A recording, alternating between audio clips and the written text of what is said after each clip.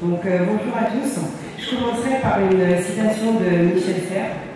Les langues sont un trésor et véhiculent autre chose que des mots. Leur fonction ne se limite pas au contact et à la communication. Elles constituent d'une part des marqueurs fondamentaux de l'identité. Elles sont structurantes d'autre part de nos perspectives. L'importance du créole dans notre société européenne est donc bien primordiale et le développement de son enseignement apparaît comme une évidence. Mais notre section académique dénonce la double instrumentalisation dont il est actuellement victime.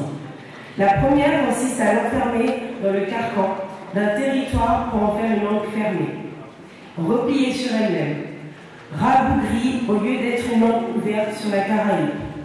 L'entêtement à enseigner un créole guadeloupéen pur, si tant est qu'il ait existé un jour, transforme cette langue vivante, parlée et comprise dans toute la Caraïbe en, un enfermement avec une visée politique bien vive.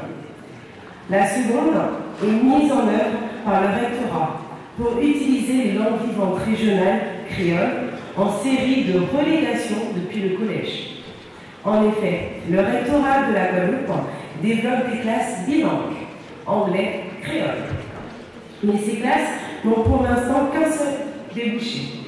Les lycées professionnels, puisque le créole, langue vivante 2, n'est à l'heure actuelle pas enseigné dans les lycées généraux et technologiques.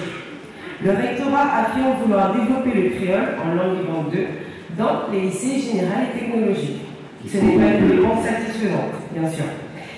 Donc l'accès à l'enseignement supérieur sera toujours fermé pour ces élèves qui qui auront fait le choix de choisir le créole en langue vivante 2.